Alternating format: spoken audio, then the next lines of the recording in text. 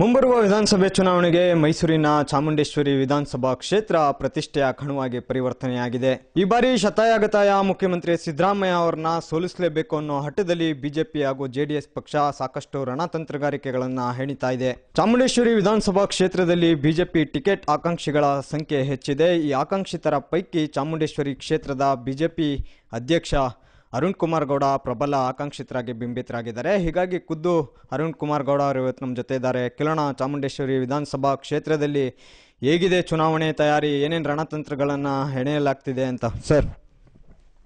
Sir ಮುಂದೆ ಬರುವಂಥ ಚುನಾವಣೆಗೆ ಚಾಮುಂಡೇಶ್ವರಿ ಕ್ಷೇತ್ರದಿಂದ ಅರುಣ್ ಕುಮಾರ್ ಗೌಡ ಅವರು ಬಿ ಜೆ ಪಿ ಟಿಕೆಟ್ ಆಕಾಂಕ್ಷಿನ? ಹೌದು ಖಂಡಿತ ನಾನು ಈ ಬಾರಿ ಎರಡು ಸಾವಿರದ ಹದಿನೆಂಟರ ಚುನಾವಣೆ ಏನು ಬರುತ್ತೆ ಆ ಚುನಾವಣೆ ನಾನು ಸ್ಪರ್ಧೆ ಮಾಡಬೇಕಂತ ಆಸೆ ಇದೆ. ಮತ್ತು ಕ್ಷೇತ್ರದ ಕಾರ್ಯಕರ್ತರು ಮತ್ತು ಮತದಾರರ ಒಂದು ಒತ್ತಡದಿಂದ ಈ ನಾನೊಂದು ಈ ನಿರ್ಧಾರನ ಕೈಗೊಂಡಿದ್ದೀನಿ. ಇದೇ ರೀತಿ ನಮ್ಮ ಪರಿ ಪಕ್ಷದ ವರಿಷ್ಠರು ಕೂಡ ನಾನು ಒಂದು ನನ್ನ ಮನವಿನ ಮಾಡಿದ್ದೀನಿ. ಅರುಣ್ ಕುಮಾರ್ ಗೌಡ ಯಾರು? ಯಾಕೆ ಪಕ್ಷ ಚಾಮುಂಡೇಶ್ವರಿ ಕ್ಷೇತ್ರದಿಂದ ಅವ್ರಿಗೆ ಟಿಕೆಟ್ ಕೊಡಬೇಕು? ಸರ್ ಅರುಣ್ ಕುಮಾರ್ ಗೌಡ ಕಳೆದ ಹದಿನೆಂಟು ವರ್ಷಗಳಿಂದ ಕೂಡ ಭಾರತೀಯ ಜನತಾ ಪಾರ್ಟಿ ಸಕ್ರಿಯ ಕಾರ್ಯಕರ್ತನಾಗಿ ಅನೇಕ ಜವಾಬ್ದಾರಿಗಳಲ್ಲಿ ಕೆಲಸ ಮಾಡಿದ್ದೀನಿ. ಕಳೆದ ಹತ್ತು ವರ್ಷ ನಾನು ಯುವ ಮೋರ್ಚಾದಲ್ಲಿ ಸತತವಾಗಿ ಕಾರ್ಯಕರ್ತನ ಕೆಲಸ ಮಾಡಿದ್ದೀನಿ. ಯುವ ಮೋರ್ಚಾದ ಜಿಲ್ಲಾಧ್ಯಕ್ಷನಾಗಿ, ಈ ಕ್ಷೇತ್ರದ ಚಾಮುಂಡೇಶ್ವರ ಕ್ಷೇತ್ರದ ಯುವ ಮೋರ್ಚಾ ಅಧ್ಯಕ್ಷನಾಗಿ ಜಿಲ್ಲಾ B J P Yuva Morcha ಕಾರ್ಯದರ್ಶಿಯಾಗಿ ಕೆಲಸ ಮಾಡಿದ್ದೀನಿ. ಪ್ರಸ್ತುತ ನಾನು ಚಾಮುಂಡೇಶ್ವರ ಕ್ಷೇತ್ರದ ಬಿ ಜೆ ಪಿ ಅಧ್ಯಕ್ಷನಾಗಿ ಕೆಲಸ ಮಾಡ್ತಾ ಇದ್ದೀನಿ. ಇವತ್ತು ಪಕ್ಷದ ವರಿಷ್ಠರು, ಪಕ್ಷದ ಹಿರಿಯರು, ಚಾಮು ಕಳೆದ ಒಂದು ವರ್ಷದ ಹಿಂದ್ಗಡೆ ಈ ಒಂದು ಕ್ಷೇತ್ರದಲ್ಲಿ ಯಾವ್ದಾದ್ರು ಒಬ್ಬ ಸಮರ್ಥವಾದಂಥ ಅಧ್ಯಕ್ಷನ ಆಯ್ಕೆ ಮಾಡಬೇಕು. ಅದ್ರ ಮುಖಾಂತರ ಪಕ್ಷವನ್ನು ಬಲಪಡಿಸಬೇಕು ಅನ್ನೋ ನಿಟ್ಟಿನಲ್ಲಿ ನನಗೆ ಅವಕಾಶನ ಮಾಡಿಕೊಟ್ಟಿದ್ದಾರೆ. ಇವತ್ತು ನಾನು ಒಂದು ಕಳೆದ ಒಂದು ವರ್ಷದಿಂದ ಈ ಕ್ಷೇತ್ರದ ಜವಾಬ್ದಾರಿಯನ್ನು ತಗೊಂಡು ಸಂಘಟನೆ ವಿಚಾರಗಳಲ್ಲಿ ಅನೇಕ ಕಾರ್ಯಕ್ರಮ ಕಾರ್ಯಕ್ರಮನ ಹಮ್ಮಿಕೊಂಡು ಪಕ್ಷದ ಮತದಾರರನ್ನು ಮತ್ತು ಯುವಕರನ್ನ ಸೆಳೆಯುವಂಥ ಕೆಲಸವನ್ನು ಮಾಡ್ತಾ ಇದ್ದೀವಿ. ಮತ್ತು ತಳಮಟ್ಟದಲ್ಲಿ, ಅಲ್ಲಿ ನಾವು ಬೂತ್ ಮಟ್ಟದಲ್ಲಿ ಕೂಡ ನಮ್ಮ ಒಂದು ಸಮಿತಿಗಳನ್ನ ರಚನೆ ಮಾಡಿಕೊಂಡು ಪಕ್ಷದ ಸಂಘಟನೆಯನ್ನು ತಳಮಟ್ಟದ ಸಂಘಟ ಬಲಪಡಿಸಬೇಕು ಅನ್ನೋ ನಿಟ್ಟಿನಲ್ಲಿ ನಾವು ಕೆಲಸ ಮಾಡ್ತಾ ಇದ್ದೀವಿ. ಆದ್ದರಿಂದ ಇವತ್ತು ಅರುಣ್ ಕುಮಾರ್ ಗೌಡ ಪಕ್ಷದಲ್ಲಿ ಏನು ದುಡಿದಿರ್ತಕ್ಕಂಥ ಕಾರ್ಯಕರ್ತ ಇದ್ದಾನೆ ಒಂದು ಪ್ರಾಮಾಣಿಕತೆ, ಒಂದು ನಿಷ್ಠಾವಂತ.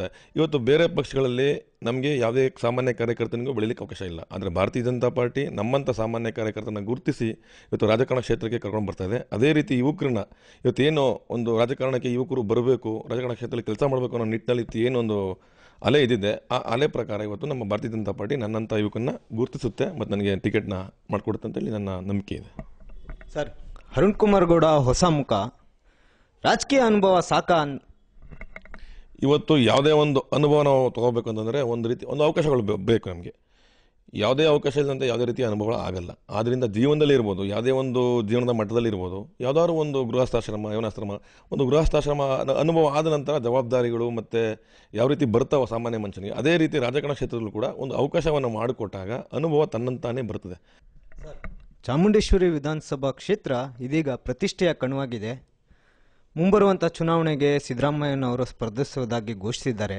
ಟಫ್ ಅನ್ಸಲ್ವಾ ಈ ಸ್ಪರ್ಧೆ ಸರ್, ಯಾವುದೇ ರಾಜಕಾರಣಿಗೂ ಯಾವುದೇ ಚುನಾವಣೆ ಆದರೂ ಕೂಡ, ಅವ್ರು ಎಷ್ಟೇ ಬಾರಿ ಚುನಾವಣೆಗೆ ಇದ್ದರೂ ಕೂಡ, ಆ ಚುನಾವಣೆ ಅವ್ರಿಗೆ ಕಷ್ಟ ಆಗುತ್ತೆ ಮತ್ತು ಅದರಲ್ಲಿ ಅವರು ಪೈಪೋಟಿ ಕೊಡಲೇಬೇಕಾಗತ್ತೆ. ಅದೇ ರೀತಿ ಇವತ್ತು ಸಿದ್ದರಾಮಯ್ಯನವರು, ಮಾನ್ಯ ಮುಖ್ಯಮಂತ್ರಿಗಳು ಈ ಕ್ಷೇತ್ರದಿಂದ, ಅವರೇ ಹೇಳ್ತಾರೆ, ನನಗೆ ಈ ಕ್ಷೇತ್ರ ಪುನರ್ಜನ್ಮ ನೀಡಿದಂಥ ಕ್ಷೇತ್ರ ಅಂತೇಳಿ. ಕಳೆದ ನಾಲ್ಕೂವರೆ ವರ್ಷಗಳ ಕಾಲ ಮುಖ್ಯಮಂತ್ರಿಯಾಗಿ ಅಧಿಕಾರ ಮಾಡಿದವರು. ನಮ್ಮೆಲ್ರಿಗೂ ಒಂದು ಆಶಾಭಾವನೆ ಇತ್ತು. ನಾನು ಕೂಡ ಒಂದು ರಾಷ್ಟ್ರೀಯ ಪಕ್ಷದ ಕಾರ್ಯಕರ್ತನಾದರೂ ಕೂಡ ಈ ಕ್ಷೇತ್ರದ ಮತದಾರನಾಗಿದ್ದೀನಿ. ನಮಗೆಲ್ಲ ಒಂದು ಆಸೆ ಇತ್ತು ಅವರು ಮುಖ್ಯಮಂತ್ರಿ ಆದಾಗ. ಇಲ್ಲಪ್ಪ, ನಮ್ಮ ಕ್ಷೇತ್ರದವರು ಒಬ್ಬರು ಮುಖ್ಯಮಂತ್ರಿ ಆಗಿದ್ದಾರೆ, ಈ ಕ್ಷೇತ್ರವನ್ನು ತುಂಬ ಅಭಿವೃದ್ಧಿ ಪಡಿಸ್ತಾರೆ. ಒಂದು ರೀತಿ ಇವತ್ತು ಅವ್ರು ಏನು ಹೇಳ್ತಾರೆ, ಅವ್ರು ಬಾಯಲ್ಲಿ ಬರುತ್ತೆ ನೀವು ಕೇಳ್ಬೋದು. ಈ ಕ್ಷೇತ್ರವನ್ನು ಮಾದರಿ ಕ್ಷೇತ್ರವನ್ನಾಗಿ ಮಾಡ್ತೀನಿ ಅಂತ ಹೇಳ್ತಾರೆ. ಆದರೆ ಕಳೆದ ಇಷ್ಟು ವರ್ಷ ಅವ್ರು ಮಾಡಿದ್ದೇನು?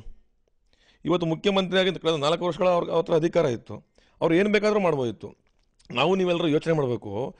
ನಮ್ಮ ಕ್ಷೇತ್ರದ ಮತದಾರರು ತುಂಬ ಪ್ರಜ್ಞಾವಂತರಿದ್ದಾರೆ, ಬುದ್ಧಿವಂತರಿದ್ದಾರೆ. ಅವರು ಪ್ರತಿಯೊಂದು ಏನು ಇವತ್ತು ನಡೀತದೆ ರಾಜಕೀಯ ಚಟುವಟಿಕೆಗಳ ಕ್ಷೇತ್ರದಲ್ಲಿ ಪ್ರತಿಯೊಂದನ್ನು ಕೂಡ ಅಬ್ಸರ್ವ್ ಮಾಡ್ತಿದ್ದಾರೆ. ಅವ್ರಿಗೆ ಗೊತ್ತಾಗಿದೆ ಸಿದ್ದರಾಮಯ್ಯವರು ಮುಖ್ಯಮಂತ್ರಿಯಾಗಿ ಕೂಡ ಕ್ಷೇತ್ರನ ಅಭಿವೃದ್ಧಿ ಮಾಡಲಿಲ್ಲ. ನೀವು ಯೋಚನೆ ಮಾಡಿ, ಮೈಸೂರು ನಗರದಿಂದ ಕೇವಲ ಹದಿನೈದು ಕಿಲೋಮೀಟರ್ ವ್ಯಾಪ್ತಿಯೊಳಗೆ ನಮ್ಮ ಕ್ಷೇತ್ರ ಬರ್ತದೆ. ಈ ಕ್ಷೇತ್ರದ ಕೆಲವು ಗ್ರಾಮಗಳಲ್ಲಿ ಇವತ್ತು ಕುಡಿಯೋಕ್ಕೂ ನೀರಿಲ್ಲ, ಹಾಹಾಕಾರ ಇದೆ. ಮತ್ತು ಮೂಲಭೂತ ಸೌಕರ್ಯಗಳು ಇಲ್ಲೂ ಕೂಡ ಸಂಪೂರ್ಣವಾಗಿ ಆಗಿಲ್ಲ.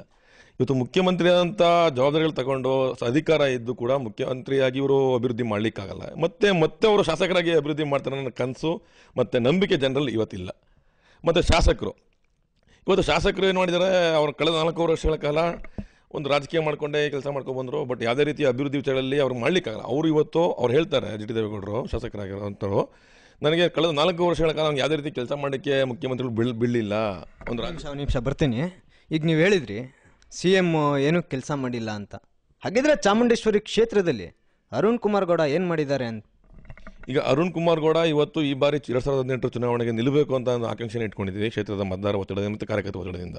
ಇವತ್ತು ನಮಗೆ ಒಂದು ಅವಕಾಶವನ್ನು ಕೊಟ್ಟರೆ ಇವತ್ತು, ಇಡೀ ಕ್ಷೇತ್ರದಲ್ಲಿ ಇವತ್ತು ನಮ್ಮ ಪ್ರಮುಖವಾಗಿ ನಾನು ಕೂಡ ಬೇರೆ ರಾಜಕಾರಣಿಗಳ ಥರ ಇದನ್ನು ಮಾದರಿ ಕ್ಷೇತ್ರವನ್ನು ಮಾಡ್ತೀನಿ, ಅದು ಮಾಡ್ತೀನಿ ನಾನು ಯಾರಿಗೂ ಪ್ರಸಕೊಳ್ಳಿಕ್ಕೆ ಹೋಗಲ್ಲ. ಮೂಲ, ಕನಿಷ್ಠ ಮೂಲಭೂತ ಸೌಕರ್ಯಗಳು ಪ್ರತಿಯೊಬ್ಬ ಒಂದು ಪ್ರತಿಯೊಂದು ಗ್ರಾಮಕ್ಕೆ ತಲುಪಬೇಕು. ಮತ್ತು ಒಂದಷ್ಟು ಅಭಿವೃದ್ಧಿ ಕೆಲಸಗಳು ಆಗಬೇಕು ಇಲ್ಲಿ ಅಭಿವೃದ್ಧಿ ಕೆಲಸಗಳೇ ಆಗದಂತೆ ನಾವು ಮತ್ತೆ ಮತದಾರ ಮುಂದೆ ನಾವು ಹೋಗ್ಲಿಕ್ಕಾಗಲ್ಲ. ಆದ್ದರಿಂದ ಇವತ್ತು ನಾನು ಬೇರೆ ರಾಜಕಾರಣಿ ಥರ ಮಾದರಿ ಕ್ಷೇತ್ರವನ್ನು ಮಾಡ್ಬಿಡ್ತೀನಿ. ನನಗೆ ಅವಶ್ಯಕತೆ ನಾನು ಕೇಳಲಿಕ್ಕೆ ಹೋಗಲ್ಲ ಒಂದು ಮೂಲಭೂತ ಸೌಕರ್ಯಗಳು, ಜನರು ನೆಮ್ಮದಿಯಾಗಿ, ಈ ಜನರ ಜೀವನ ಮಟ್ಟ, ಗುಣಮಟ್ಟ ಸುಧಾರಿಸಬೇಕು. ಇವತ್ತು ನಗರಕ್ಕೆ ತುಂಬ ಹತ್ರ ಇದ್ದೀವಿ ನಾವು. ಮೈಸೂರು ನಗರ ತುಂಬ ಹತ್ರ. ಮೈಸೂರು ನಗರಗಳು ಒಳಗೊಂಡಿದೆ ನಮ್ಮ ಕ್ಷೇತ್ರದಲ್ಲಿ ಇವತ್ತು. ನಿಮ್ಗೆ ಗೊತ್ತಿಲ್ಲ ಮೈಸೂರು ಮಹಾನಗರ ಪಾಲಿಕೆ ನಾಲ್ಕು ವಾರ್ಡ್ಗಳು ನಮ್ಮ ಕ್ಷೇತ್ರಕ್ಕೆ ಒಳಗೊಂಡಿವೆ. ಇವೆಲ್ಲವನ್ನು ನಾನು ನೋಡಿದಾಗ ಕ್ಷೇತ್ರ ಜನರ ಮಟ್ಟ, ಜೀವನ ಮಟ್ಟ ಸುಧಾರಿಸಬೇಕು, ಮತ್ತು ಅಲ್ಲಿರ್ತಕ್ಕಂಥ ಮೂಲಭೂತ ಸೌಕರ್ಯಗಳನ್ನು ನಾವು ಮೊದಲು ಕಲ್ಪಿಸಬೇಕು. ಈ ಕೆಲಸ ನಾನು ಮಾಡ್ತೀನಿ ಅನ್ನೋ ನಂಬಿಕೆಯಲ್ಲಿ ನಾನು ಈ ಚುನಾವಣೆ ಸ್ಪರ್ಧೆ ಮಾಡ್ಕೊಂಡು ಆಸೆನ ಇಟ್ಕೊಂಡಿದ್ದೀನಿ. ಸರಿ ಹೇಳಿದ್ರಿ, ಅವಕಾಶ ಕೇಳ್ತಾ ಇದ್ದೀನಿ ಅಂತ. ಆದರೆ ಚಾಮುಂಡೇಶ್ವರಿ ಕ್ಷೇತ್ರದಲ್ಲಿ ಬಿ ಜೆ ಪಿ ಬೇಸಿಲ್ಲ ಅನ್ನೋ ಮಾತಿದೆ. ನಿಜಾನ ಇದು? ಈ ಮಾತನ್ನ ನಾವು ಯಾವುದೇ ಕಾರಣಕ್ಕೂ ಒಪ್ಪಲ್ಲ. ಕಾರಣ ಯಾಕಂದರೆ ನಾನು ಕೂಡ ಕಳೆದ ಹದಿನೆಂಟು ವರ್ಷಗಳಿಂದ ಭಾರತೀಯ ಜನತಾ ಪಾರ್ಟಿ ಸಕ್ರಿಯವಾಗಿ ಕೆಲಸ ಮಾಡ್ತಾ ಇದ್ದೀನಿ. ಪ್ರತಿಯೊಂದು ಚುನಾವಣೆ ನೀವು ಅಬ್ಸರ್ವ್ ಮಾಡಿರಬೇಕು. ಪ್ರತಿಯೊಂದು ಚುನಾವಣೆಯಲ್ಲೂ ಕೂಡ ನಾವು ನಲವತ್ತು ಸಾವಿರಕ್ಕಿಂತ ಅಧಿಕವಾದ ಮತಗಳನ್ನು ಪಡ್ಕೊಂಡಿದ್ದೀವಿ ಈಗ ಬೇಸೆ ಇಲ್ಲದೆ ಹೋದರೆ ನಲವತ್ತು ಸಾವಿರ ಮತಗಳು ಬಿ ಜೆ ಪಿಗೆ ಹೇಗೆ ಬರ್ತಿತ್ತು? ಇಲ್ಲಿ ತುಂಬ ಗಟ್ಟಿಯಾದ ಬೇಸ ಕ್ವಾಲಿಟಿ ಇರ್ತಕ್ಕಂಥ ಕಾರ್ಯಕರ್ತರು ಇದ್ದಾರೆ ನಮ್ಮಲ್ಲಿ. ಬೇಸು ತುಂಬ ಚೆನ್ನಾಗೇ ಇದೆ. ಆದರೆ ಅಂಕಿ ಅಂಶಗಳನ್ನ ಗಮನಿಸಿದಾಗ ಚಾಮುಂಡೇಶ್ವರಿ ವಿಧಾನಸಭಾ ಕ್ಷೇತ್ರದಲ್ಲಿ ಬಿ ಜೆ ಪಿ ನ ಗೆಲುವಿನ ನಗೆ ಬೀರಿರೋದು ತೀರಾ ಅಪರೂಪ. ಯಾಕೆ ಮತದಾರ ಆ ಭಾಗದಲ್ಲಿ ಬಿ ಜೆ ಪಿ ಪಕ್ಷನ ಮನ್ನಣೆ ಆಗ್ತಿಲ್ಲ? ಮುಂದೆ ಬರುವಂಥ ಚುನಾವಣೆಯಲ್ಲಿ ಮನ್ನಣೆ ಆಗ್ತಾನ? ಈ ಹಿಂದೆನೇ ಆಗ್ತಾ ಇರೋದು ಅಂತ. ಸರ್, ಕಳೆದ ಬಾರಿ ನೀವು ಯೋಚನೆ ಮಾಡಿದಾಗ ನಮ್ಮ ಭಾರತೀಯ ಜನತಾ ಪಾರ್ಟಿ ಮೂರು ಭಾಗಗಳಾಗಿ ವಿಂಗಡಣೆ ಆಗಿತ್ತು. ಕಳೆದ ಒಂದು ಬಾರಿ ಬಿಟ್ಟರೆ ಇನ್ನೆಲ್ಲ ಚುನಾವಣೆ ಕೂಡ ನಾವು ನಲವತ್ತು ಸಾವಿರಕ್ಕಿಂತ ಹೆಚ್ಚು ಮತ- ಮತಗಳನ್ನು ತಗೊಂಡ್ರು. ಅಂಕಿಅಂಶ ನಿಮ್ಮ ಹತ್ರ ಇದೆ. ಈಗ ಇಲ್ಲಿರ್ತಕ್ಕಂಥ ಯಾವುದೋ ಒಂದು ವ್ಯತ್ಯಾಸಗಳಿರ್ಬೋದು, ಒಂದು ಸಂವಹನ ಕೊರತೆ ಇರ್ಬೋದು, ಕಾರ್ಯಕರ್ತರು ಒಮ್ಮತವಾಗಿ ಕೆಲಸ ಮಾಡಿದ್ದಾರೆ. ಆದರೆ ಈ ಬಾರಿ ಎರಡು ಸಾವಿರದ ಹದಿನೆಂಟು ಚುನಾವಣೆ ಏನಿದೆ, ನಮಗೆ ಒಂದು ಎರಡು ಬಲ ಇದೆ ನಮಗಿಲ್ಲಿ. ಒಂದು ನರೇಂದ್ರ ಮೋದಿಯವರ ಆಶೀರ್ವಾದ ಬಲ. ಮತ್ತು ನಮ್ಮ ರಾಜ್ಯದ ಮಾಜಿ ಮುಖ್ಯಮಂತ್ರಿಗಳು, ಶೇ, ರಾಜ್ಯದ ಬಿ ಜೆ ಪಿ ಅಧ್ಯಕ್ಷರಾದಂಥ ಯಡಿಯೂರಪ್ಪನವರು ಇವತ್ತು ನೀವು ನೋಡ್ತಾ ಇದ್ದೀರಿ, ಪ್ರತಿಯೊಂದು ಕಡೆ ಅವರು ಪರಿವರ್ತನೆ ಯಾತ್ರೆ ಮಾಡ್ತಿದ್ದಾರೆ. ಪ್ರತಿಯೊಂದು ಕಡೆ ಕೂಡ ಒಂದು ಒಳ್ಳೆ ಸಂಖ್ಯೆಯಲ್ಲಿ ಜನ ಸೇರ್ತಾ ಇದ್ದಾರೆ. ಇದು ನಾವು ಸರ್ಕಾರವನ್ನು ಮಾಡೇ ಮಾಡ್ತೀವಿ. ಅದೇ ರೀತಿ ಚಾಮುಂಡೇಶ್ವರ ಕ್ಷೇತ್ರದಲ್ಲೂ ಕೂಡ ನಾವು ಈ ಬಾರಿ ಬಿ ಜೆ ಪಿನ ಅರಳಿಸೇ ಅರಳಿಸ್ತೀವಿ. ಕಮಲ ಈ ಸಲ ಈ ಚಾಮುಂಡೇಶ್ವರಿ ಕ್ಷೇತ್ರ ಅರಳೇ ಅರಳುತ್ತೆ. ಸರ್, ಮತ್ತೆ? ಕ್ಷೇತ್ರದಲ್ಲಿ ಜಾತಿ ಕೆಮಿಸ್ಟ್ರಿ ಯಾವ ಜಾತಿ ಲೆಕ್ಕಾಚಾರ ಆರಂಭವಾಗಿದೆ. ಅರುಣ್ ಕುಮಾರ್ ಗೌಡ ಅವರಿಗೆ ಜಾತಿ ಲೆಕ್ಕಾಚಾರ ಯಾವ ರೀತಿ ಸದುಪಯೋಗ ಆಗುತ್ತೆ ಸರ್, ನಮ್ಮ ಭಾರತೀಯ ಜನತಾ ಪಾರ್ಟಿಯಲ್ಲಿ ಸದ್ಯ, ಖಂಡಿತ ಸತ್ಯ. ಯಾಕಂದರೆ ಇವತ್ತು ರಾಜಕಾರಣ ಕ್ಷೇತ್ರ ಬಂದಾಗ ಜಾತಿಯಾಗಿ ಸಮೀಕರಣ ಮಾಡಿ, ಜಾತಿ ಸಮೀಕರಣ ಮಾಡ್ತಕ್ಕಂಥದ್ದು ಎಲ್ಲ ಪಕ್ಷಗಳು ಇದ್ದಂಥ ಒಂದು ವ್ಯವಸ್ಥೆ. ಆದರೆ ಭಾರತೀಯ ಜನತಾ ಪಾರ್ಟಿ ವಿಶೇಷವಾಗಿ ಜಾತಿ ವ್ಯವಸ್ಥೆಯನ್ನು ಕೂಡ ಒಂದಷ್ಟು ಬದಿಗೊತ್ತಿ. ಇಲ್ಲಿ ಒಂದು ಸಾರ್ವತ್ರಿಕವಾಗಿ ಎಲ್ಲ ಜಾತಿ ಮತ್ತು ಎಲ್ಲ ಪಂಗಡಗಳು ಏನಿದ್ದಾವೆ ಅವರೆಲ್ಲರನ್ನು ನಮ್ಮ ನಮ್ಮ ಒಂದು ಕಾನ್ಸೆಪ್ಟ್ ಇದೆ. ಸರ್ವರಿಗೂ ಸಮಪಾಲು ಸರ್ವರಿಗೂ ಸಮಬಾಳು ಅದು ನಮ್ಮ ಯಡಿಯೂರಪ್ಪಜಿಯವರು ಮುಖ್ಯಮಂತ್ರಿ ಆದಾಗ ಇದನ್ನು ಅವರು ಸರ್ಕಾರದ ಮಟ್ಟದಲ್ಲಿ ಒಂದು ದಾರಿ ತಂದಿದ್ದರು ಅದೇ ರೀತಿ ಇವತ್ತು ಕ್ಷೇತ್ರದಲ್ಲಿ ಜಾತಿ ಸಮೀಕರಣ ಕೂಡ ನೀವು ವರ್ಕ್ ಆಗುತ್ತೆ ರಾಜಕಾರಣ ಇಲ್ಲ ಅಂತ ಹೇಳಲಿಕ್ಕಾಗಲ್ಲ. ಇವತ್ತು ನಾನು ಕೂಡ ಒಂದು ಒಂದು ಸ, ದೊಡ್ಡ ಸಮುದಾಯದಿಂದ ಬಂದಿರತಕ್ಕಂಥ ಕಾರ್ಯಕರ್ತ ಇದ್ದೀನಿ. ನನಗೂ ನನ್ನ ಜನ ನನ್ನದೇ ಆದ ಜನಾಂಗದ ಒಂದಷ್ಟು ಮತಗಳು ಕೂಡ ಈ ಸಲ ಖಂಡಿತವಾಗಿ ಬರುತ್ತೆ ಅನ್ನೋ ನಿಶ್ಚಿತವಾಗಿ ನಾವು ಹೇಳ್ತೀವಿ ಮತ್ತೆ ಕೆಲವು ಪಕ್ಷಗಳು ಹೇಳ್ತಾರೆ, ಯಾವುದೋ ಒಂದು ಜಾತಿನ ಅವರು ಜಿ ಪಿ ಎ ತಗೊಂಡಿರೋ ರೀತಿ ವರ್ತನೆ ಮಾಡ್ತಾ ಇದ್ದಾರೆ ಈ ಜಾತಿಯವರು ನಮಗೆ ಓಟ್ ಹಾಕ್ತಾರೆ, ಈ ಜಾತಿಯವರು ನಮಗೆ ಇದು ಮಾಡ್ತಾರೆ ಅಂತೇಳಿ. ಬಟ್ ಅದೆಲ್ಲ ಸುಳ್ಳು. ಚಾಮುಂಡೇಶ್ವರಿ ವಿಧಾನಸಭಾ ಕ್ಷೇತ್ರದಲ್ಲಿ ಒಕ್ಕಲಿಗ ಸಮುದಾಯದ ಪ್ರಾಬಲ್ಯ ಅತಿ ಹೆಚ್ಚು. ನಿರ್ಣಾಯಕ ಪಾತ್ರ ವಹಿಸುತ್ತೆ. ಸೊ ಜೆ ಡಿ ಎಸ್ನಿಂದ ಹಾಲಿ ಶಾಸಕರ ಜಿ ಟಿ ದೇವೇಗೌಡರು ಸಹ ಅದೇ ಸಮುದಾಯವನ್ನು ಪ್ರತಿನಿಧಿಸ್ತಾ ಇದ್ದಾರೆ. ಬಿ ಜೆ ಪಿಯಿಂದ ಅರುಣ್ ಕುಮಾರ್ ಗೌಡರು ಒಂದು ವೇಳೆ ಟಿಕೆಟ್ ತೊಗೊಂಡು ಕಣಕ್ಕಿಳಿದ್ರೆ ನೀವು ಅದೇ ಸಮುದಾಯವನ್ನು ಪ್ರತಿನಿಧಿಸ್ತಾರೆ. ಹಾಗಿದ್ರೆ ಒಕ್ಕಲಿಗ ಸಮುದಾಯ ಇಬ್ಬರ ನಾಯಕರಲ್ಲಿ ಯಾರನ್ನ ಆಯ್ಕೆ ಮಾಡ್ತಾರೆ? ಯಾರನ್ನ ಆಯ್ಕೆ ಮಾಡಬೇಕು? ಸರ್, ನಮ್ಮ ಜನಾಂಗದಲ್ಲಿ ಈಗ ಜಿ ಡಿ ದೇವೇಗೌಡರು ಶಾಸಕರಾಗಿ, ಸಚಿವರಾಗಿ ಕೆಲಸ ಮಾಡಿದ್ದಾರೆ. ಒಂದಷ್ಟು ಅವ್ರಿಗೆ ಅಧಿಕಾರವನ್ನು ನಮ್ಮ, ನೀವು ಜನಾಂಗ ವಿಚಾರ ಬಂದರೆ ಅಧಿಕಾರವನ್ನು ಕೊಟ್ಟಿದ್ದಾರೆ ನಮ್ಮ ಜನಾಂಗದಲ್ಲಿ ಇಲ್ಲ ಅಂತಲ್ಲ. ಆದರೆ ಈ ಬಾರಿ ಅವರಿಂದ ನಮ್ಮ ಒಕ್ಕಲಿಗ ಜನಾಂಗಕ್ಕೆ ಇರ್ಬೋದು ಚಾಮುಂಡೇಶ್ವರಿ ಕ್ಷೇತ್ರಕ್ಕೆ ಇರ್ಬೋದು ಯಾವುದೇ ರೀತಿಯ ಒಂದು ಕೊಡುಗೆ ಇಲ್ಲ. ನೀವು ಯೋಚನೆ ಮಾಡಿ. ಇದೇ ಜಿ ಡಿ ದೇವೇಗೌಡರು ಕಳೆದ ಬಾರಿ ಹುಣಸೂರಿನಲ್ಲಿ ಸ್ಪರ್ಧೆ ಮಾಡಿದ್ರು. ಅಲ್ಲಿ ಹುಣಸೂರಲ್ಲಿ ವಾತಾವರಣ ಒಂದು ರೀತಿ ಆದಾಗ ಇಲ್ಲಿ ಚಾಮುಂಡೇಶ್ವರಿಗೆ ಬಂದು ಜಂಪ್ ಆದರು. ನಾನು ಹೇಳ್ತಾ ಇದ್ದು ಏನಕ್ಕೆ ಅಂತಂದರೆ, ಈಗ ನಾವೆಲ್ಲರೂ ಇಲ್ಲಿ ಸ್ಥಳೀಯವಾಗಿ ಕೆಲಸ ಮಾಡ್ತಾ ಇದ್ದೀವಿ ಈ ಅವಕಾಶವಾದಿ ರಾಜಕಾರಣವನ್ನು ಮಾಡ್ಕೊಂಡು ಬರ್ತಕ್ಕಂಥ ಜನಗಳಿಗೆ ಕ್ಷೇತ್ರದ ಮತದಾರರು ಬುದ್ಧಿವಂತಿದ್ದಾರೆ, ಅವರು ಪಾಠವನ್ನು ಕಲಿಸ್ತಾರೆ. ಈ ಜನಾಂಗದ ವಿಚಾರ ಬಂದಾಗ ನಾನು ಕೂಡ ಒಕ್ಕಲಿಗ ಜನಾಂಗಕ್ಕೆ ಸೇರ್ತಕ್ಕಂಥ ಕಾರ್ಯಕರ್ತನಾಗಿರೋದ್ರಿಂದ, ಕೇವಲ ಒಕ್ಕಲಿಗ ಜನಾಂಗ ಅಂತಲ್ಲ, ಎಲ್ಲ ಜನಾಂಗದವರು ಮತ್ತು ಎಲ್ಲ ಜಾತಿಯವರು ಒಮ್ಮತವಾಗಿ ನನ್ನ ಕೈಡಿತನ ನಂಬಿಕೆಯಲ್ಲಿ ನನಗೆ ಚುನಾವಣೆನ ಸ್ಪರ್ಧೆ ಮಾಡ್ತೀನಿ. ನಮ್ಮ ಹಿರಿಯರು ಅವಕಾಶ ಮಾಡಿಕೊಡ್ತಾರೆ ಅನ್ನೋ ನಂಬಿಕೆ ನನ್ನಲ್ಲಿದೆ. ಅವರು ಅವಕಾಶ ಮಾಡಿಕೊಟ್ಟಿದ್ದೆ ಅದರಲ್ಲಿ ಎರಡು ಸಾವಿರದ ಹದಿನೆಂಟರ ಚುನಾವಣೆಯಲ್ಲಿ ಭಾರತೀಯ ಜನತಾ ಪಾರ್ಟಿ ಕಮಲವನ್ನು ಅರಳಿಸೋದ್ರಲ್ಲಿ ಯಾವುದೇ ಸಂಶಯ ಇಲ್ಲ ಅಂತ ನಾನು ಹೇಳಲಿಕ್ಕೆ ಇಷ್ಟಪಡ್ತೀನಿ. ಸರ್ ಮತ್ತೆ ಹೇಳ್ತಾರೆ ಬಿ ಜೆ ಪಿಯವರು ಚಾಮುಂಡೇಶ್ವರಿ ವಿಧಾನಸಭಾ ಕ್ಷೇತ್ರದಲ್ಲಿ ಯಾವಾಗಲೂ ಹೇಳ್ತಾರೆ ನಾವು ಗೆಲ್ತೀವಿ ಅಂತ. ಆದರೆ ಚುನಾವಣೆ ಬಂದಾಗ ಪಾಪ ಅವರು ಹರಕೆ ಕುರಿ ಆಗೋಗ್ತಾರೆ ಅಂತ. ಸತ್ಯನ ಇದು ಅಂತ. ಸರ್ ಈಗ ಚುನಾವಣೆಗಳಲ್ಲಿ ಹರಕೆಯ ಕುರಿ ಈ ಬಾರಿ ಅರಕೆಯ ಕುರಿಗಳು ಯಾರಾಗ್ತಾರೆ ಅಂತ ನೀವೇ ನೋಡಬೇಕಾಗುತ್ತೆ. ಯಾಕಂದರೆ ಕ್ಷೇತ್ರದ ಜನತೆ ಒಂದು ನಿರ್ಧಾರಕ್ಕೆ ಬಂದಿದ್ದಾರೆ ಸರ್ ಆಲ್ರೆಡಿ ನಮಗೆ ಗೊತ್ತಿರೋ ಯಾಕಂದ್ರೆ ತಳಮಟ್ಟದಲ್ಲಿ ಕೆಲಸ ಮಾಡ್ತಿರೋದ್ರಿಂದ ನಮ್ಮೊಂದು ಸಂಪರ್ಕಗಳಿವೆ. ಅವ್ರಲ್ಲ ಅವರ ಅಭಿಪ್ರಾಯಗಳು ನಮಗೆಲ್ಲ ಗೊತ್ತಾಗ್ತದೆ. ಈ ಸಲ ಹರಕೆ ಕುರಿಗಳನ್ನ ಯಾರು ಮಾಡ್ತಾರೆ ಅಂತಂದರೆ ಇವತ್ತೇನು ಅಧಿಕಾರವನ್ನು ತಗೊಂಡು ಕ್ಷೇತ್ರದ ಅಭಿವೃದ್ಧಿ ಕಡೆ ಗಮನ ಕೊಡದಂತೆ ಅವ್ರದ್ದೇ ಆದಂಥ ಸ್ವಹಿತ ಸ್ವಹಿತಾಸಕ್ತಿ ರಾಜಕಾರಣ ಮಾಡಿಕೊಂಡು ತಮ್ಮ ಕುಟುಂಬವನ್ನು ಬೆಳೆಸ್ಕೊಂಡು ತಮ್ಮ ಮಕ್ಕಳನ್ನು ರಾಜಕಾರಣ ತಂದುಕೊಂಡು ಏನು ಕೆಲಸ ಮಾಡ್ತಾ ಇದ್ದಾರೆ ಅವರ ಪಕ್ಷದ ಕಾರ್ಯಕರ್ತರು ಕೂಡ ಬೇಸರ ಆಗಿದೆ ಇವತ್ತು. ಸರ್ ಮುಖ್ಯಮಂತ್ರಿ ಸಿದ್ದರಾಮಯ್ಯನವರ ಸ್ಪರ್ಧೆ. ಸಾಕಷ್ಟು ಹಿರಿಯ ಅನುಭವಿ ರಾಜಕಾರಣಿ. ಶಾಸಕ ಜಿ ಟಿ ದೇವೇಗೌಡರು ಸಹ ಅವರ ಸಮಕಾಲೀನ ರಾಜಕಾರಣಿ. ಇವರಿಬ್ಬರ ಹಿರಿಯರ ಅನುಭವದ ಮಧ್ಯೆ ಹೊಸ ಮುಖ ಅರುಣ್ ಕುಮಾರ್ ಗೌಡ ಚುನಾವಣೆಗೆ ನಿಂತರೆ ಯಾವ ರೀತಿ ಫೇಸ್ ಮಾಡ್ತಾರೆ? ಸರ್, ಇವತ್ತು ಯಾರೇ ಅನುಭವಿಗಳಿದ್ರು ಕೂಡ ಅವನ್ನ ಜನ ಕೈ ಹಿಡಿಬೇಕು. ಜನ ಕೈ ಹಿಡದೆ ಹೋದರೆ ಯಾವುದೇ ಚುನಾವಣೆಯಲ್ಲಿ ಯಾರೂ ಗೆಲ್ಲಿಸೋಕ್ಕಾಗಲ್ಲ ನಾನು ನಿಮ್ಗಾಗಲೇ ಪ್ರಸ್ತಾಪ ಮಾಡಿದೆ ಕೆಲವು ವಿಚಾರಗಳನ್ನ ಹೇಳಿದೆ. ಇವರಿಗೆಲ್ಲ ಇಷ್ಟು ಅವಕಾಶಗಳು ಬಂತು. ಆದರೂ ಕೂಡ ಕ್ಷೇತ್ರನ ಯಾವ ರೀತಿ ಅಭಿವೃದ್ಧಿ ಮಾಡಿಲ್ಲ. ಇವತ್ತು ಕ್ಷೇತ್ರ ಜನತೆಗೆ ಏನಾಗಿದೆ ಅಂದರೆ ಒಂದು ಹೊಸ ಮುಖ ಬೇಕು ಇಲ್ಲಿಗೆ ರಾಜಕಾರಣದಲ್ಲಿ ಕೇವಲ ಯಾರನ್ನೋ ಒಂದು ಅಪ್ಪ ಹಾಕಿದ ಆಳದ ಮರ ಅಂತ ಏನು ನಮ್ಮ ಗ್ರಾಮೀಣ ಭಾಷೆಯಲ್ಲಿ ನಾವು ಬಳಸ್ತೀವಿ ಪದಗಳನ್ನ, ಆ ರೀತಿ ಯಾರು ಕೂಡ ಅವ್ರನ್ನ ನೆನ್- ನೆನ್- ನೆಚ್ಕೊಂಡಿಲ್ಲ. ಅವರಿಂದ ಯಾರು ಕೂಡ ಅನುಕೂಲಗಳು ಆಗಿಲ್ಲ ಕ್ಷೇತ್ರದಲ್ಲಿ ಇವತ್ತು. ಜಿಡಿದೇಗೌಡರು ಹೇಳ್ತಾರೆ ಸಿದ್ದರಾಮಯ್ಯವ್ರನ್ನ ಬೆಳೆಸಿದ ನಾನೇ, ಅವ್ರನ್ನ ಗೆಲ್ಸಿದ ನಾನೇ ಅಂತ ಸಿದ್ದರಾ ಜಿಡಿದೇಗೌಡರು ಹೇಳ್ತಾರೆ. ಸಿದ್ದರಾಮಯ್ಯ ಒಂದು ಗುಂಪು ಹೇಳ್ತದೆ, ಜಿ ಡಿ ಈ ಮಟ್ಟಕ್ಕೆ ತಂದಿದ್ದು ನಾನು ಅಂತ ಅವ್ರು ಹೇಳ್ತಾರೆ. ಬಟ್ ಕ್ಷೇತ್ರ ಜನತೆ ತಾನೇ ಇವತ್ತು ಅವ್ರಿಬ್ರನ್ನು ಗೆಲ್ಸಿ ಇಲ್ಲಿ ಈ ಅಂತ ತನಕ ತಲುಪಿಸಿರೋದು ಅದ್ರ ಬಗ್ಗೆ ಅವ್ರು ಯೋಚನೆ ಮಾಡ್ತಾ ಇಲ್ಲ. ಇವತ್ತು ಕ್ಷೇತ್ರ ಜನತೆನೇ ಏನು ಅನ್ಕೊಂಡಿದ್ದಾರೆ ಅವರು? ಕ್ಷೇತ್ರ ಜನತೆಗಳು ನಾವು ಹೇಳ್ದ ಹೇಳ್ದ ಕೇಳ್ತಕ್ಕಂಥ ಒಂದಷ್ಟು ಜನ ಅಂತ ಕಂಡಿದ್ದಾರೆ. ಬಟ್ ಕ್ಷೇತ್ರದ ಮತದಾರರು ಕಾಯ್ತಾ ಇದ್ದಾರೆ ಇವತ್ತು ಈ ಬಾರಿ ಚುನಾವಣೆಯಲ್ಲಿ. ಸರ್ ಇಷ್ಟೆಲ್ಲ ಹೇಳ್ತಾ ಇದ್ದೀರಾ? ಆದರೆ ಬಿ ಜೆ ಪಿ ಪಕ್ಷದಲ್ಲಿ ನಿಮ್ಮನ್ನ ನಾಯಕರು ಅಂತ ಒಪ್ಕೊಂಡಿದ್ದಾರಾ ಅಂತ? ಸರ್ ಕಳೆದ ಹದಿನೆಂಟು ವರ್ಷಗಳಿಂದ ಕೂಡ ಇವತ್ತು ಬಿ ಜೆ ಪಿ ನನ್ನ ನಾಯಕರು ಅಂತ ಒಪ್ಕೊಂಡಿರೋದಕ್ಕೆ ನನಗೊಂದಷ್ಟು ಹಲವಾರು ಜವಾಬ್ದಾರಿ ಕೊಟ್ಟಿದೆ. ಇವತ್ತೇನು ನಾವು ಯುವ ಮೋರ್ಚಾದ ಜಿಲ್ಲಾಧ್ಯಕ್ಷನಾಗಿ ನನಗೆ ಅವಕಾಶ ಮಾಡಿಕೊಟ್ಟಿದೆ. ಇವತ್ತು ಪ್ರಸ್ತುತ ನೀವು ನೋಡ್ತಾ ಇದ್ದೀರಿ ಇವತ್ತು ನಾನು ಕ್ಷೇತ್ರದ ಅಧ್ಯಕ್ಷನ ಕೆಲಸ ಮಾಡ್ತಾ ಇದ್ದೀನಿ. ಇವತ್ತು ಯಾ ನಮ್ಮ ಪಕ್ಷದಲ್ಲಿ ಯಾವುದೇ ಬೇರೆ ಪಕ್ಷದ ಥರ ಕೌಟುಂಬಿಕ ನಿರ್ಧಾರಗಳು ಆ ಥರ ನಡೆಯಲ್ಲ. ಇದೊಂದು ಸಾಮೂಹಿಕವಾಗಿ ಎಲ್ಲ ನಾಯಕರು ಒಟ್ಟಾಗಿ ಕೂತು ಚರ್ಚೆ ಮಾಡಿ ಯಾವುದೇ ಒಂದು ಜವಾಬ್ದಾರಿನ ಕೊಡಬೇಕಾದ್ರೆ ಕೊಡ್ತಾರೆ. ಇವತ್ತು ನನ್ನ ಕೂಡ ಒಂದು ವರ್ಷದ ಹಿಂದೆ ಅಧ್ಯಕ್ಷನ ನೇಮಕ ಮಾಡಿದ್ದಾರೆ. ನನ್ನನ್ನು ನಾಯಕನಾಗಿ ಒಪ್ಕೊಳ್ಳಿಲ್ಲ ಅಂತಂದರೆ ನನಗೆ ಈ ಈ ಒಂದು ಜವಾಬ್ದಾರಿನ ಕೊಡ್ತಿರಲಿಲ್ಲ ಅಲ್ವಾ ಪಕ್ಷದ ವರಿಷ್ಠರು ಯಾವ ರೀತಿ ಭರವಸೆಯನ್ನು ಕೊಟ್ಟಿದ್ದಾರೆ? ನಿಮಗೆ ಟಿಕೆಟ್ ಕೊಡ್ತೀನಿ ಅಂತೇಳಿ ಸರ್ ಇವತ್ತು ನಾನು ಇಲ್ಲಿ ನಾನೇ ಅಭ್ಯರ್ಥಿ ಅಂತ ಹೇಳ್ಕೊಳ್ತಕ್ಕಂಥ ಪೆದ್ದ ನಾನಲ್ಲ ಯಾಕೆ ಅಂತಂದರೆ ಇವತ್ತು ನಮ್ಮದೊಂದು ರಾಷ್ಟ್ರೀಯ ಪಕ್ಷ. ಈ ರಾಷ್ಟ್ರೀಯ ಪಕ್ಷ ನೀವೆಲ್ಲರೂ ಗಮನಿಸ್ತಾ ಇರ್ಬೋದು. ನಮ್ಮ ಟಿಕೆಟ್ ಹಂಚಿಕೆ ಪ್ರಕ್ರಿಯೆ ಯಾವ ರೀತಿ ಇದೆ ಅನ್ನೋದು ನಿಮಗೆ ಆಲ್ರೆಡಿ ಸಾರ್ವಜನಿಕ ವಲಯದಲ್ಲಿ ಚರ್ಚೆ ಆಗ್ತಾ ಇದೆ. ನಾನು ಕೂಡ ನನ್ನ ಹಿರಿಯರಿಗೆ ಮತ್ತು ನನ್ನ ವರಿಷ್ಠ ನಾಯಕರುಗಳಿಗೆ ನಾನು ಮನವಿನ ಮಾಡಿದ್ದೇನೆ. ಕಾರಣ ಇಷ್ಟೇ, ಇಲ್ಲಿ ಕ್ಷೇತ್ರಕ್ಕೆ ಒಂದು ಒಮ್ಮತವಾಗಿರ್ತಕ್ಕಂಥ ಅಭಿ, ನಾನೇ ಕ್ಷೇತ್ರದ ಅಧ್ಯಕ್ಷನಾಗಿರೋದ್ರಿಂದ ಇಲ್ಲಿ ಯಾವುದೇ ರೀತಿ ಗೊಂದಲ ಇಲ್ಲ. ಯಾರು ಟಿಕೆಟ್ ಆಕಾಂಕ್ಷಿಗಳಿದ್ದಾರೆ, ಅವ್ರು ಯಾರಿಗೂ ಸ್ವತಂತ್ರ ಇದೆ. ಟಿಕೆಟನ್ನು ಕೇಳ್ಬೋದು, ಮತ್ತು ಅವಕಾಶವನ್ನು ಕೇಳ್ಬೋದು. ಇಲ್ಲ ಅಂತ ನಾವು ಹೇಳಲಿಕ್ಕಿಲ್ಲ ಬಟ್ ವರಿಷ್ಠರು ಏನು ನಿರ್ಣಯ ಕೈಗೊಳ್ತಾರೆ ಅದಕ್ಕೆ ನಾವು ಬದಲಾಗಿರ್ತೀವಿ ಕ್ಷೇತ್ರದ ವಿಚಾರಕ್ಕೆ ಬಂದರೆ ಅಭಿವೃದ್ಧಿ ವಿಚಾರವಾಗಿ ಏನು ಹೇಳ್ತೀರಾ? ಅಭಿವೃದ್ಧಿ ವಿಚಾರವಾಗಿ ಜನರಿಗೆ ಯಾವ ರೀತಿ ಮನವರಿಕೆಗಳನ್ನ ಮಾಡಿಕೊಡ್ತಾ ಇದ್ದೀರಾ? ಚುನಾವಣೆ ಬರ್ತಾ ಇದೆ. ಅರುಣ್ ಕುಮಾರ್ ಗೌಡರು ಏನು ವೈಫಲ್ಯಗಳನ್ನ ಅಲ್ಲಿ ಗುರುತಿಸಿದ್ದಾರೆ ಕ್ಷೇತ್ರದಲ್ಲಿ?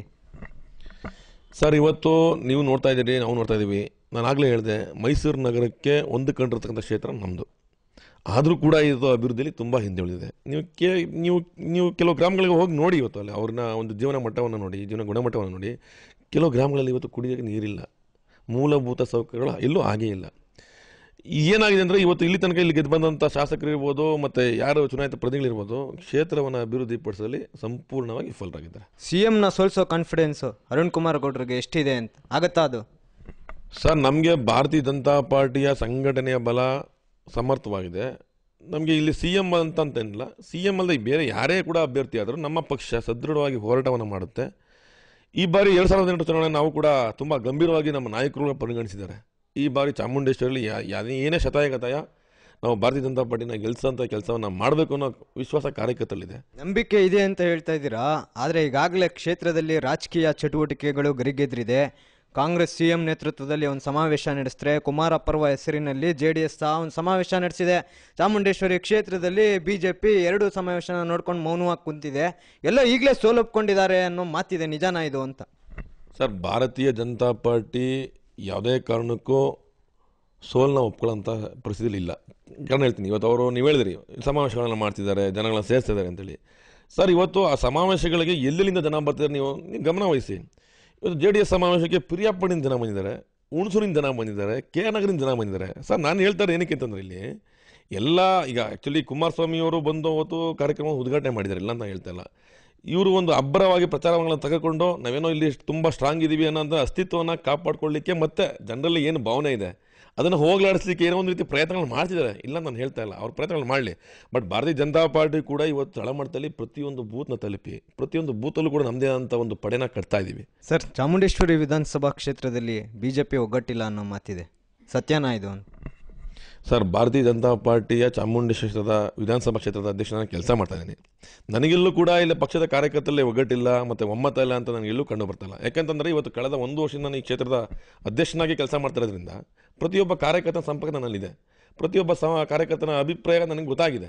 ಯಾರಿಗೂ ಕೂಡ, ಯಾರ ಮೇಲೂ ಕೂಡ ಒಂದು ರೀತಿ ಭಿನ್ನಮತ ಇರ್ಬೋದು ಒಗ್ಗಟ್ಟು ಇಲ್ಲದೆ ಇರ್ಬೋದು ಆ ಥರ ಭಾವನೆಗಳು ಯಾರಿಗೂ ಇಲ್ಲ. ಹಾಗಿದ್ರೆ ಯಾಕೆ ಚುನಾವಣೆಗೆ ಇನ್ನಾರು ತಿಂಗಳಿದ್ರೂ ಸಹ ಒಬ್ಬ ಒಮ್ಮತದಿಂದ ಅಭ್ಯರ್ಥಿಯನ್ನು ಆಯ್ಕೆ ಮಾಡ್ತಿಲ್ಲ, ಆಕಾಂಕ್ಷಿಗಳ ಸಂಖ್ಯೆ ಹೆಚ್ಚಿದೆ. ಒಂದೆಡೆ ಧನಂಜಯ ಅವರು ನನಗೆ ಟಿಕೆಟ್ ಬೇಕು ಅಂತ ಕೇಳ್ತಾರೆ. ಮತ್ತೊಂದೆಡೆ ಹೇಮಂತ್ ಕುಮಾರ್ ಗೌಡ್ರು ನನಗೆ ಟಿಕೆಟ್ ಬೇಕು ಅಂತ ಅವರು ಆಕಾಂಕ್ಷಿತರಾಗಿದ್ದಾರೆ. ಈ ಮಧ್ಯೆ ಅರುಣ್ ಕುಮಾರ್ ಗೌಡ್ರು ಆಕಾಂಕ್ಷಿತರಾಗಿದ್ದಾರೆ. ಸೊ ಎಲ್ಲೋ ಒಂದೆಡೆ ಈ ಆಕಾಂಕ್ಷಿಗಳ ಸಂಖ್ಯೆ ತೋರಿಸ್ತಾ ಇದೆ. ಈಗಲೂ ಅವ್ರದ್ದು ಏನಂದರೆ ಒಂದು ಕಾನ್ಸು ಇದಿಲ್ಲ.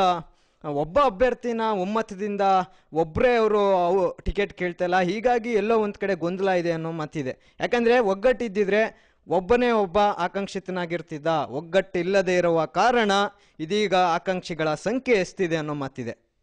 ಸರ್ ನೀವು ಈಗ ಆಕಾಂಕ್ಷಿಗಳು ಜಾಸ್ತಿ ಆದ ತಕ್ಷಣ ಒಗ್ಗಟ್ಟಿಲ್ಲ ಅನ್ನೋ ಮಾತು ಸುಳ್ಳು. ಆಕಾಂಕ್ಷಿಗಳು ಯಾಕೆ ಜಾಸ್ತಿ ಆಗ್ತಾರೆ ಅಂತಂದರೆ ಯಾವ ಪಕ್ಷಕ್ಕೆ ಎಲ್ಲಿ ನೆಲೆ ಇದೆ ಮತ್ತು ನಾವು ಗೆಲ್ಲಿಕ್ಕೆ ಅವಕಾಶಗಳಿದೆ ಅಂತಂದಾಗ ಸಹಜವಾಗಿ ಆಕಾಂಕ್ಷಿಗಳು ಟಿಕೆಟ್ ಕೇಳ್ತಾರೆ. ಆದ್ರಿಂದ ಇಲ್ಲಿ ಒಗ್ಗಟ್ಟಿಲ್ದಿರೋ ಕಾರಣ ಇವರು ತುಂಬ ಜನ ಆಕಾಂಕ್ಷಿಗಳಿದ್ದಾರೆ ಅನ್ನೋದು ಸುಳ್ಳು ನೂರಕ್ಕೆ ಸರ್ ಸುಳ್ಳು. ಸರ್ ಬಿಜೆಪಿಯಲ್ಲಿ ಮುಖ್ಯವಾಗಿ ಚಾಮುಂಡೇಶ್ವರಿ ವಿಧಾನಸಭಾ ಕ್ಷೇತ್ರದಲ್ಲಿ ಗೆಲ್ಲುವ ಗುರಿಯನ್ನು ಹೊಂದಿದ್ಯೋ ಅಥವಾ ಸಿ ಎಂ ಸಿದ್ದರಾಮಯ್ಯ ಅವ್ರನ್ನ ಸೋಲಿಸ್ಬೇಕು ಅನ್ನೋ ಗುರಿ ಹೊಂದಿದ್ಯೋ? ಸರ್, ನಾನು ನಿಮ್ಗೆ ಆಗಲೇ ಹೇಳಿದೆ, ಇಲ್ಲಿ ಸಿ ಎಂ ಅಲ್ಲದೆ ಬೇರೆ ಅಭ್ಯರ್ಥಿ ಕೂಡ ಆಗ್ಬೋದು, ಹೇಳಲಿಕ್ಕಾಗಲ್ಲ. ಆದ್ದರಿಂದ ನಾನು ಹೇಳ್ತಾ ಇರೋದು ಗೊತ್ತಾ? ನಮಗೆ ಇವತ್ತು ಗುರಿ ಇರ್ತಕ್ಕಂಥದ್ದು ಭಾರತೀಯ ಜನತಾ ಪಾರ್ಟಿ ಗೆಲ್ಲಬೇಕು. ನಾವು ಯಾರನ್ನ ಸೋಲ್ಸೋಕೆ ಇಲ್ಲಿಗೆ ಬಂದಿಲ್ಲ ನಾವು. ನಾವು ಬಂದಿರತಕ್ಕಂಥದ್ದು ಸಂಘಟನೆ ಮಾಡ್ತಾ ನಾವು ಗೆಲ್ಲಬೇಕು ಅನ್ನೋ ವಿಚಾರ ಇಟ್ಕೊಂಡು ಸಂಘಟನೆ ಮಾಡ್ತಾ ಇದ್ದೀವಿ, ಮತ್ತು ಪಕ್ಷನ ಬಲಪಡಿಸ್ತಾ ಇದ್ದೀವಿ. ಇವತ್ತು ನಮಗೆ ಗೆಲುವುದೊಂದೇ ನಮ್ಮ ಮಾನದಂಡವಾಗಿರುತ್ತೆ ಹೊರತು, ನಾವು ಇನ್ನೊಬ್ಬರನ್ನ ಸೋಲಿಸಬೇಕು ಇನ್ನೊಬ್ಬರನ್ನ ಮಣಿಸ್ಬೇಕು ಅನ್ನೋ ವಿಚಾರ ನಮ್ಮ ತಲೆಯಲ್ಲಿ ಇಲ್ಲ. ಸರ್, ನೀವು ಹೇಳ್ತಾ ಇದ್ದೀರಾ, ಗೆಲ್ಲೋದಷ್ಟೇ ನಮ್ಮ ಗುರಿ ಅಂತ.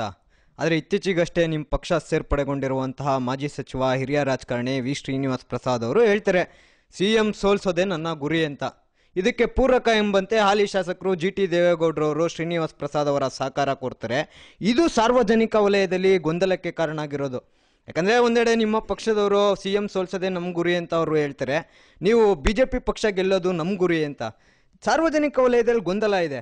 ಅಲ್ಲಿ ಶಾಸಕರು ಭೇಟಿ ಆಗ್ತಾರೆ, ಶ್ರೀನಿವಾಸ್ ಪ್ರಸಾದ್ ಅವ್ರನ್ನ ಸಿ ಎಂ ಸೋಲಿಸ್ಬೇಕು ಅಂತ ಅವ್ರು ಹೇಳೋರೆ ಅಂತ. ನೀವು ನೋಡಿದ್ರೆ ಬಿ ಜೆ ಪಿ ಗೆಲ್ಲಬೇಕು ಅಂತ ಹೇಳ್ತಾ ಇದ್ದೀರಾ.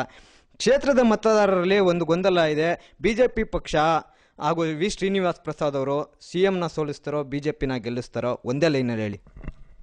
ಸರ್, ಇವತ್ತು ಜೆ ಡಿ ಎಸ್ನ ಕೆಲವು ಮುಖಂಡರುಗಳು ಅಪಪ್ರಚಾರ ಮಾಡ್ತಾ ಇದ್ದಾರೆ.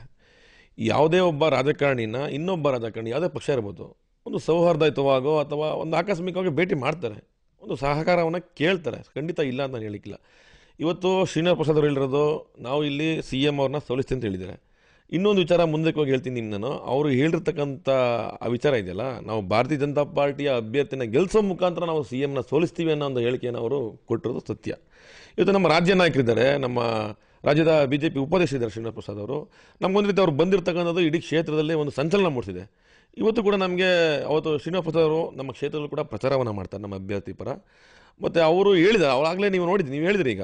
ಅವ್ರನ್ನ ಸಿ ಎಮ್ನ ಸೋಲ್ಸೇ ಸೋಲಿಸ್ತೀನಿ ಶ್ರೀನಿವಾಸ ಪ್ರಸಾದ್ ಅಂತ ರಾಜ್ಯ ಕಂಡಂಥ ಅಪ್ರತಿಮ ಮುಖಂಡರು, ಇವತ್ತು ಭಾರತೀಯ ಜನತಾ ಪಾರ್ಟಿನ ಇಲ್ಲಿ ಹೋರಾಟ ಮಾಡಿ ಅವರು ಕೂಡ ನಮ್ಮ ಒಂದು ಗೆಲುವಿಗೆ ಸಹಕಾರವನ್ನು ನೀಡ್ತಾರೆ, ಮತ್ತು ಅಷ್ಟೇ ಬೆನ್ನೆಲುಬು ನಮಗೆ ನಿಲ್ತಾರೆ ಅನ್ನೋದು ವಿಶ್ವಾಸ ನನ್ನಲ್ಲಿದೆ ಸರ್.